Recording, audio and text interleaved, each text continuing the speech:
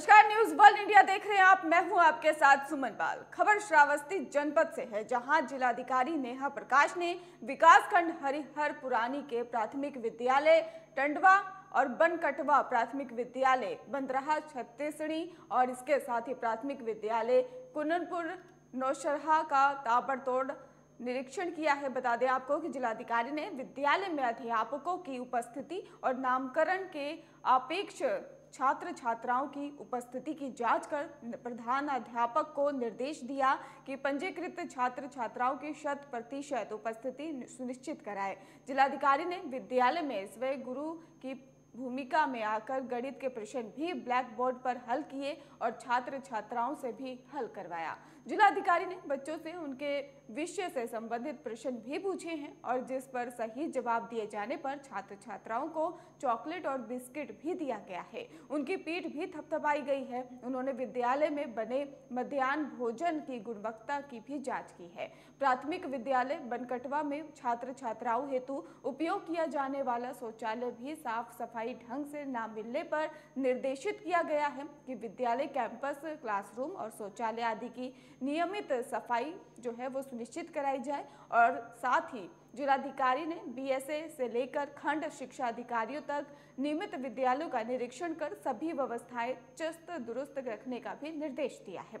उन्होंने कहा है कि समय समय पर विद्यालयों का आकस्मिक निरीक्षण किया जाए। यदि निरीक्षण के दौरान विद्यालयों में कोई कमी मिली तो संबंधित विद्यालयों के प्रधान अध्यापक से लेकर खंड शिक्षा अधिकारी पर भी कार्रवाई की जाएगी।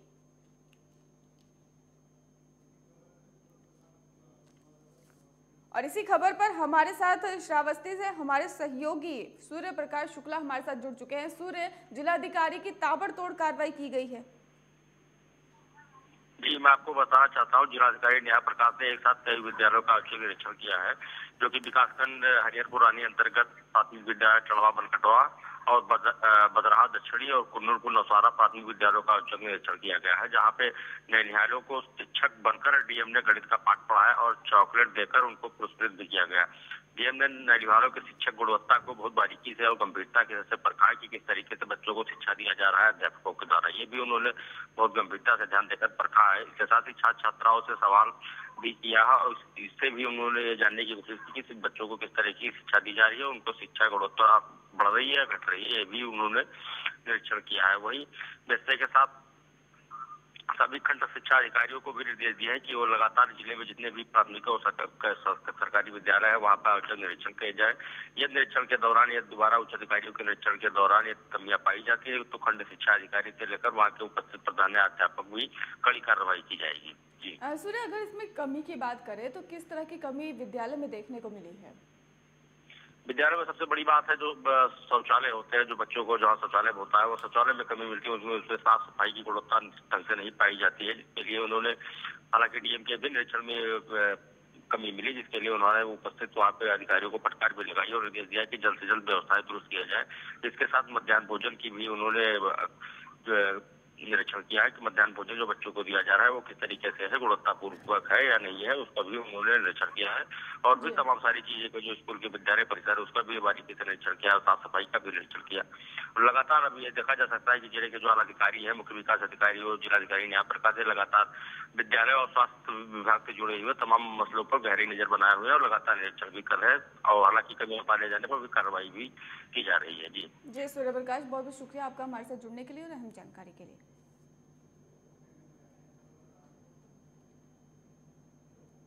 आज़म खान की पत्नी तंजीम फातिया फातिमा ने ही अपने मताधिकार प्रयोग किया है, लेकिन उनको जिस तरह से परेशान किया जा रहा है, उन्होंने पुलिस प्रशासन पर भी गंभीर आरोप लगाए हैं। लोगों को वोटिंग करने से रोका जा रहा है। रामपुर नगर सीट की मतदान केंद्र पर मुस्लिम महिलाओं को मतदान नहीं करने दिया जा रहा। तो आपको बता दें, रामपुर से खबर है, जहाँ पर बड़ा आरोप लगाया गया है। बताते चले कि आज़म खान की पत्नी तंजीन फातिमा ने अपने मताधिकार प्रयोग किया है, लेकिन उनके जिस तरह से परेशान किया जा रहा है, उनका लगातार आरोप है कि परेशान किया जा रहा है। उन्होंने पुलिस और प्रशासन पर भी गंभीर आरोप लगाए हैं। लोगों को वोटिंग करने से रोका जा रहा है, ऐसा कहती हुई नज़र आई हैं। रामपुर नगर सीट के मतदान केंद्र पर मुस्लिम महिलाओं को मतदान नहीं करने दिया जा रहा।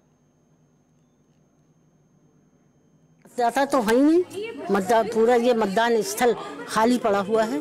और जब मैं आ रही हूँ तो मैंने खुद ये देखा है कि यहाँ से एक एक किलोमीटर डेढ़ किलोमीटर की दूरी पर भारी पुलिस बल तैनात है जो कि वहीं से लोगों को वापस कर रहे हैं। उनकी पर्चियाँ फाड़ रहे हैं उनके साथ बल प्रयोग कर रहे हैं। किसी की उंगली टूट गई है किसी का हाथ टूट गया है। तो यहाँ इस स्थल तक पहुँचने ही नहीं दे रहे हैं। आप ये मतदान स्थल दिख, दिखाएँ अपने चैनल पर कि क्या मतदान स्थल पे यही रहता है, ऐसा ही मौत का सा सन्नाटा छाया हुआ है।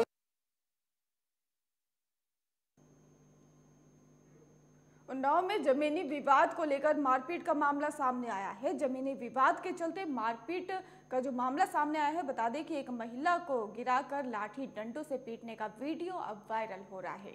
उन्नाव के दही थाना क्षेत्र का ये मामला बताया जा रहा है, जहाँ पर तस्वीरों में आप देख सकते हैं किस तरह से महिला को पीटा जा रहा है और बताया जा रहा है कि लाठी डंडों से महिला की पिटाई की गई है, जमीनी विवाद को लेकर यह पूरा मामला बताया जा रहा है। बता दें कि उन्नाव में जमीनी विवाद को लेकर यह मारपीट का मामला अब तेज़ी से वायरल हो रहा है। जमीनी विवाद के चलते महिला की पिटाई की गई है, एक महिला को गिराकर लाठी डंडों से पीटा गया है।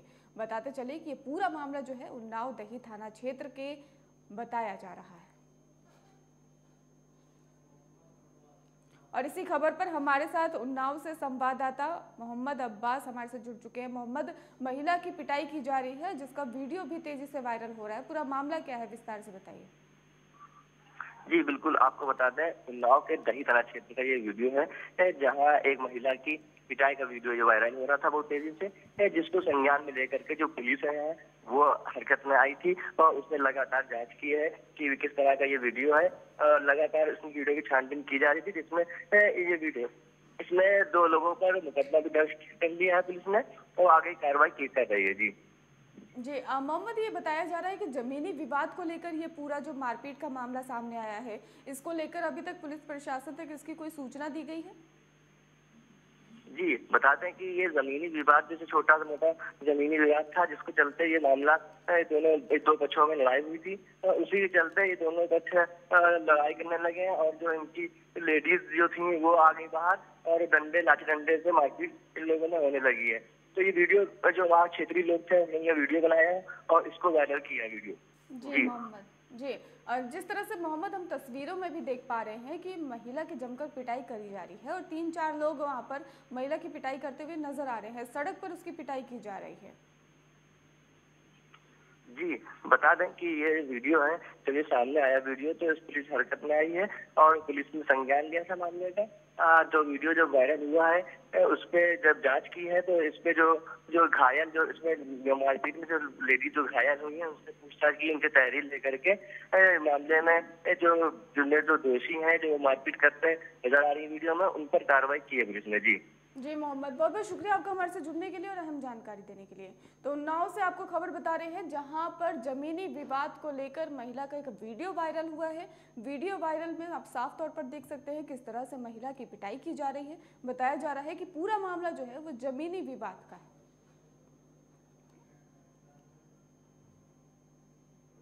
सितारगंज में मोबाइल लूट के आरोप में पुलिस ने किशोर समेत दो आरोपियों को गिरफ़्तार कर लिया है। आरोपियों के कब्जे से लूटा हुआ मोबाइल फ़ोन भी बरामद कर लिया गया है। और इतना ही नहीं, बता दें, आरोपियों के पास से बाइक भी बरामद की गई है।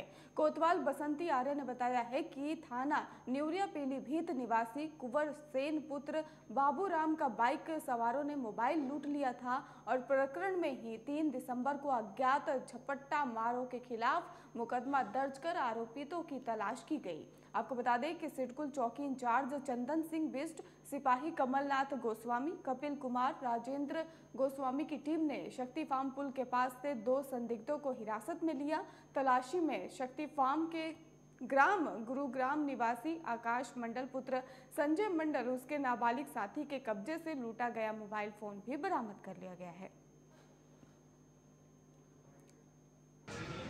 कि दो लोग आए और मोटरसाइकिल से मेरी मोबाइल को छीन के ले गए। छिटकुल क्षेत्र का है ये हमारे सदारगंज क्षेत्र में। तो इसमें मुकदमा लिखा है तीन तारीख को और इसमें टीम गठित की गई थी। टीम में जो है चौकी प्रभारी जो है छिटकुल उसको चंदन बिस्टू को भी लगाया गया था। दो तीन सिपाही और लगाए थे। तो कल इसको पकड़ लिया है। इसमें दो पकड़े गए हैं विद मोबाइल इनसे बरामद हो रखा है और मोटरसाइकिल भी इनसे हमने बरामद की है और इसमें से एक नाबालिग है और बालिग है। जिसका जो बालिग है उसका नाम है आकाश मंडल पुत्र संजय मंडल। ये गुरुग्राम नंबर दो सितारगंज का रहने वाला है। इसके खिलाफ पहले भी शायद मुकदमा पंजीकृत हो रखा है हैं? इसका पहले भी नाबालिग है उस वो पहले भी चोरी में गया है जेल और ये दोबारा फिर पकड़ा गया से चार सौ ग्यारह का वो है इसमें माननीय न्यायालय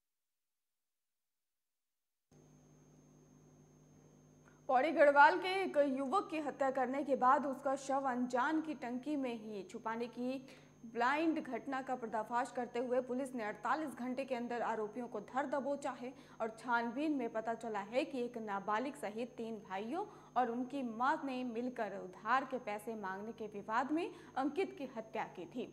पुलिस ने उन्हें गिरफ़्तार कर नकदी भी बरामद कर ली है। पुलिस कप्तान अजय सिंह ने रुड़की सिविल लाइन्स कोतवाली में हत्याकांड का पर्दाफाश किया है। एसएसपी अजय सिंह ने बताया है कि भगवानपुर में थाने में कुछ दूरी पर ही चाँद कॉलोनी में तीन मंजिला मकान के सिकंदर नामक एक व्यक्ति ने किराए पर दिया हुआ था और इस बिल्डिंग में सभी आसपास के फैक्ट्री में काम करने वाले कर्मचारी थे और दो दिन पहले सिकंदर रात के समय बिल्डिंग में ही पहुँचा तो अनजान की टंकी में खून निकला और जिसके बाद देखा कि टंकी खोलने पर उसके अंदर से एक किराएदार अंकित निवासी ग्राम चौठी का थाना पौड़ी चौकी पाबो तहसील पौड़ी जनपद पौड़ी गढ़वाल का शव मिला था। सीसीटीवी कैमरे की फुटेज खंगालने के साथ ही पुलिस ने मुखबिर तंत्र को अलर्ट किया और साथ ही एसओजी ने सर्विलांस का सहारा लिया। इलेक्ट्रॉनिक सर्विलांस के आधार पर मिले संदिग्ध मोबाइल नंबरों की कुंडली खंगालने के बाद एक पुलिस टीम को तुरंत बुलंदशहर के लिए रवाना किया गया था, जिससे पता चला कि आरोपी घटना को अंजाम देने के पश्चात जयपुर ग्रेटर नोएडा, बुलंदशहर, गाजियाबाद अलग अलग शहरों में ठहरे हुए हैं। कॉलोनी भगवानपुर से सूचना प्राप्त हुई थी। थाने को कि जो है एक, जो है शव जो है टंकी में जो रखा हुआ है जो अनाज की टंकी में और वो किराए पर कुछ लोग रहते थे जो वहाँ से फरार है। इस सूचना पर समस्त पुलिस बल और अधिकारियों द्वारा रात को विज़िट की गई और अभियुक्त के और मृतक की शिनाख्त के पूरे प्रयास किए गए जो देर रात्रि शिनाख्त हुई कंपनी में कर्मचारी था। इसके बाद उसके नंबरों के आधार पर और जो वहाँ रहते थे उनके संबंध में जानकारी की गई। तो पता चला कि जो लोग वहाँ किराए पर आ रहे थे वो बुलंदशहर के निवासी थे और उनके कुछ नंबर संदिग्ध प्राप्त हुए। जिसके आधार पर टीमों को भेजा गया, लेकिन वह उपरोक्त मकान जो उनका एड्रेस था, वो पहले ही बेच के जा चुके थे। अभियुक्तगढ़ों के संबंध में अलग अलग टीमें भेजी गई तो जयपुर और दिल्ली और ग्रेटर नोएडा में पता चला कि उनका मूवमेंट पाया गया था। समझ जानकारी के बाद जब अभियुक्तगणों को गिरफ़्तार किया गया तो उनसे पूछताछ में आया कि करीब ढाई तीन लाख रुपए जो अ, अभियुक्तगणों ने जो है मृतक जो है लिए थे उससे उसको वापस ना करना था जब वो घर पे आके लगातार मांग रहा था। एक राय होकर इसमें उसकी हत्या कर दी गई। हत्या करने के बाद उसके शव को जो है टंकी में छिपा दिया गया एक कंटेनर में छिपा दिया गया जिससे कि अगले दिन जब वो यहाँ से जाएँ कब्र छोड़कर तो उसको कहीं ना कहीं बॉडी को आगे डिस्पोज कर दें जिससे पता ना चले। लेकिन उनकी यह जो षडयंत्र था इसमें कामयाब नहीं हो पाए और किसी कारणों से दो दिन तक शव जो है वहीं पर रह गया और जब वो गाड़ी से ले जाने लगे तो शव से जो ब्लड और जो अन्य चीज़ें आई, उस पर उसके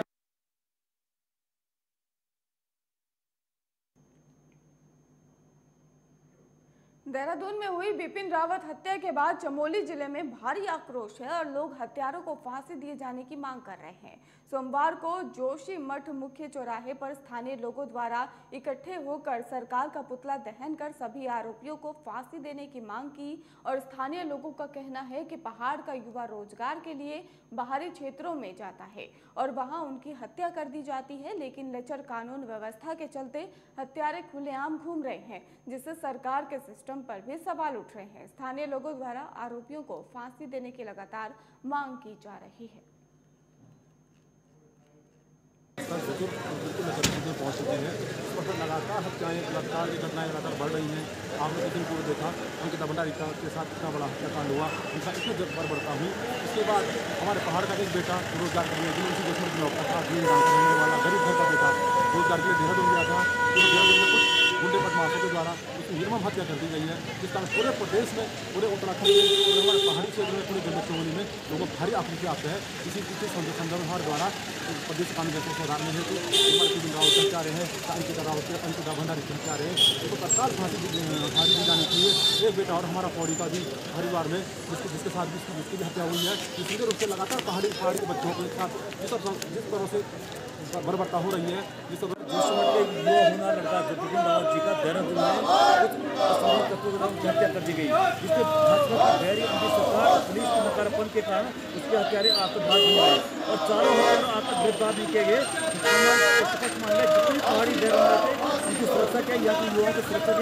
और पहाड़ी मुख्यमंत्री ने पहाड़ी सुरक्षा की व्यवस्था नहीं किया। तो पहाड़ के लोग सीएम का घेराव करेंगे और शीघ्र ये कार्यक्रम शुरू करने वाले हैं और पहाड़ के लोगों की सुरक्षा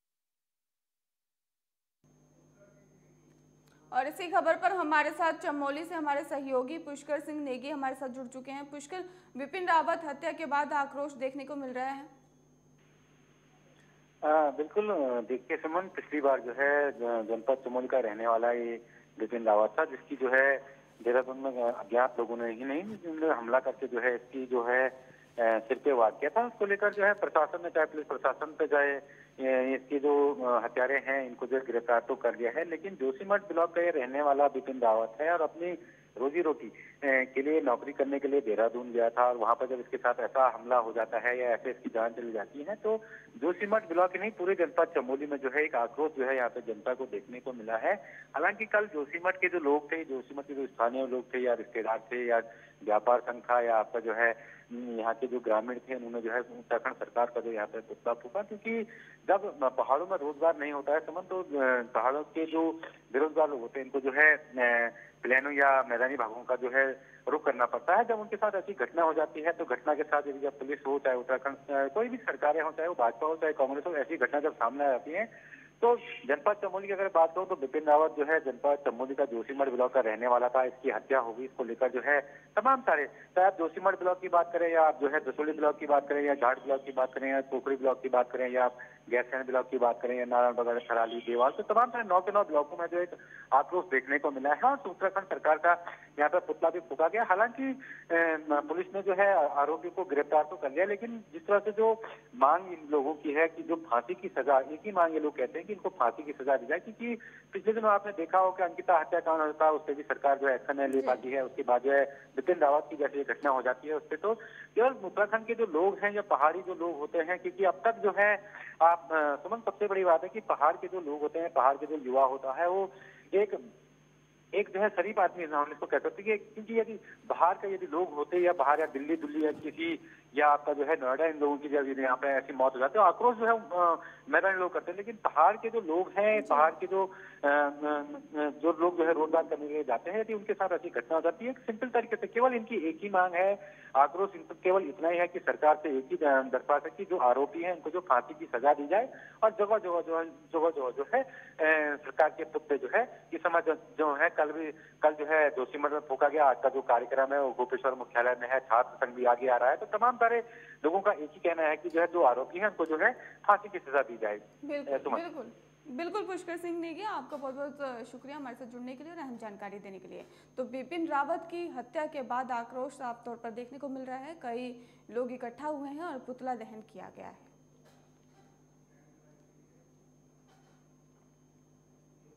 लक्ष्मण झूला थाना पुलिस ने लूट की योजना बनाकर क्षेत्र में पहुँचे तीन बदमाशों को गिरफ़्तार किया है, जिनके कब्जे से पाँच ज़िंदा कारतूस और तीन तमंचे पुलिस ने बरामद किए हैं। आरोपियों को पुलिस ने मुकदमा दर्ज करने के बाद न्यायालय में पेश किया है, जहाँ कोर्ट के आदेश पर पुलिस ने आरोपियों को जेल भेज भेजा दिया है, पहुँचा दिया है। आपको बताते चले कि एसएसपी पोड़ी श्वेता चौबे ने आपराधिक वारदातों पर नकेल कसने के लिए रात को पहरा कड़ा करने के निर्देश पुलिस को दिए। और इसी कड़ी में गश्त के दौरान पुलिस ने संदिग्ध रूप से घूम रहे तीन बदमाशों को गिरफ़्तार करने में सफलता हासिल की है और जिनकी पहचान प्रवीण पंकज और गौरव निवासी पलवल, हरियाणा के रूप में हुई है। एसपीएसपी श्वेता चौबे ने बताया है कि लक्ष्मण झूला थाने के इंस्पेक्टर विनोद गुस्साई की गुसाई की ही पूछताछ में आरोपियों को खुद बेरोजगार बताया। बेरोजगारी की वजह से ही उन्होंने लूट की योजना बनाई, मगर वारदात को अंजाम देने से पहले ही वो पकड़े गए।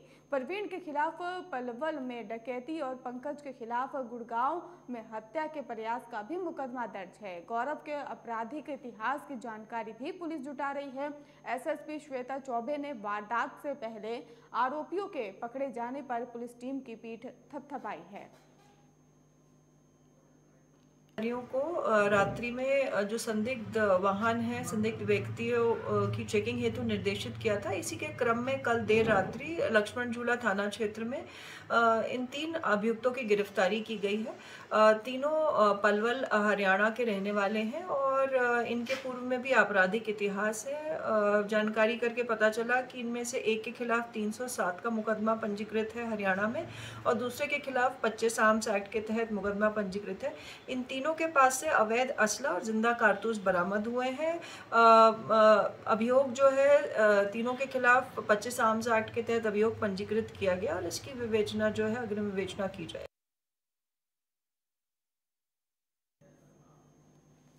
और इसी खबर पर हमारे साथ टिहरी से हमारे सहयोगी संजय शर्मा हमारे साथ जुड़ चुके हैं। संजय, पुलिस ने लूट की योजना बनाकर कई लोगों को गिरफ़्तार किया है। पूरा मामला क्या है, विस्तार से बताइए। यहाँ पर पर्यटन क्षेत्र है और यहाँ पर बाहर से बहुत लोग आते हैं ऐसी स्थिति में क्या है कि पुलिस लगातार संदिग्ध लोगों पर नज़र बनाए रखती है और जो एस एस पी चौबे हैं, उन्होंने इस बात पर विशेष तौर पर ध्यान दिया है कि जो अपना क्षेत्र है, उस क्षेत्र में जैसे ही आपको ऐसा लगे कि कोई संदिग्ध है तो उससे तुरंत पूछताछ की जाए और उसकी चेकिंग की जाए। ऐसी निर्देश के बाद ही पुलिस एक्शन में तो उन्होंने गाड़ी को रोका, गाड़ी में देखा कि कुछ संदिग्ध लोग लगे उन्होंने उनसे पूछताछ की तो पूछताछ जो पत्नी के पास से हथियार मिले ज़िंदा कारतूस मिले तब उन्होंने उनका पूरा इलाज करवाने को देखा तो तब अपराधी के लोग थे क्योंकि ऑलरेडी अपने यहाँ जहाँ थे हरियाणा में वहाँ से वो पलवल से वो अपराध करके आ रखे थे। और यहाँ पुलिस ने जो अपराध होना था उससे पहले ही पुलिस ने उनको दबोचा और उस दबोचने में एक बहुत बड़ी वारदात होने से बच गई। ऐसे में एस एस पी चौबे ने जी संजय आपका बहुत बहुत शुक्रिया हमारे साथ जुड़ने के लिए और अहम जानकारी देने के लिए। तो ऋषिकेश में तीन बदमाशों को पुलिस ने गिरफ़्तार कर लिया है। बताया जा रहा है कि पुलिस ने लूट की योजना बनाकर इन आरोपियों को गिरफ़्तार किया है। तीन आरोपी पुलिस की गिरफ्त में बताए जा रहे हैं।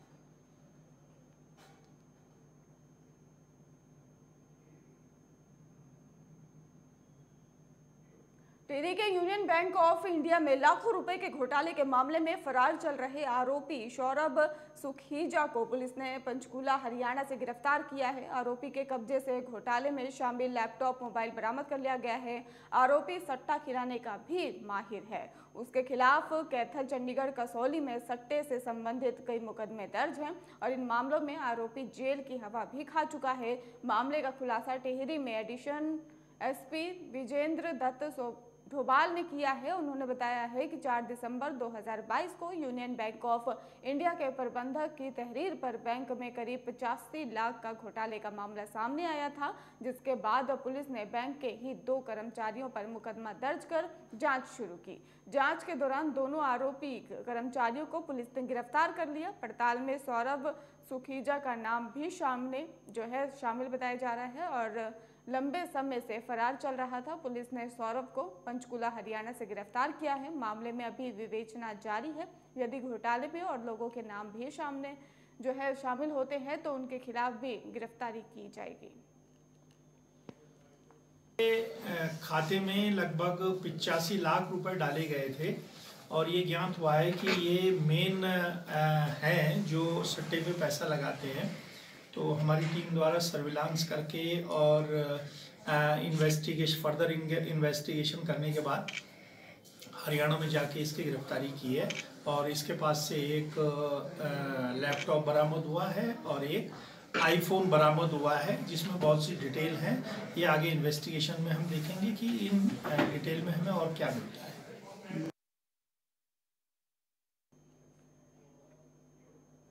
संभल में मेंथा फॉर्म पर जीएसटी का छापा पड़ा है। जीएसटी विभाग की छापामारी कार्रवाई से हड़कंप मच गया है। कई थानों की पुलिस फोर्स के साथ जीएसटी विभाग ने छापामार कार्रवाई की है। विभाग की कार्रवाई लगातार जारी है। जीएसटी विभाग की कार्रवाई से मेंथा फार्म संचालकों में हड़कंप मचा है। नखासा थाना क्षेत्र के दीपा में जारी है और जीएसटी विभाग की छापामारी कार्रवाई लगातार जारी है। सतपुतली राष्ट्रीय राजमार्ग 534 सतपुतली कलहड़ बैंक पर एक कार हादसे का शिकार हुई है। बताते चले कि कुल्हड़ बैंक के पास सड़क हादसा हुआ है। कार अनियंत्रित होकर गहरी खाई में गिरी और कार में छह व्यक्ति सवार थे, जिसमें दो महिलाओं की मौके पर ही मौत हो गई है। हादसे में चार गंभीर रूप से घायल हो गए हैं। चौबट्टा खाल से शादी समारोह में कट्टावर आ रहे थे और पुलिस द्वारा रेस्क्यू कर घायलों को 108 की मदद से बेस हॉस्पिटल को टावर पहुँचाया गया है।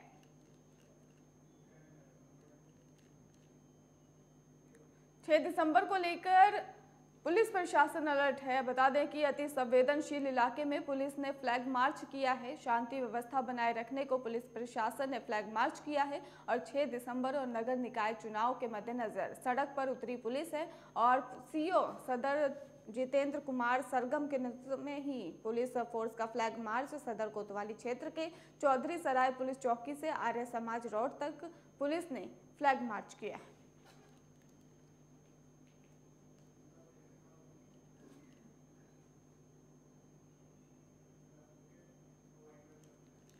तो संभल से आपको खबर बता रहे हैं, जहाँ पर पुलिस प्रशासन अलर्ट नज़र आ रहा है। बता दें आपको कि 6 दिसंबर को लेकर पुलिस प्रशासन आज अलर्ट पर है। बताते चलें कि सुरक्षा व्यवस्था के पूरे इंतज़ाम किए गए हैं। बता दें कि पुलिस प्रशासन संवेदनशील इलाकों में पुलिस ने फ्लैग मार्च निकाला और शांति व्यवस्था बनाए रखने को पुलिस प्रशासन ने फ्लैग मार्च निकाला है। फ़िलहाल इस बुलेटिन में इतना ही। खबरों का सिलसिला लगातार जारी है। आप देखते रहिए न्यूज़ वर्ल्ड इंडिया।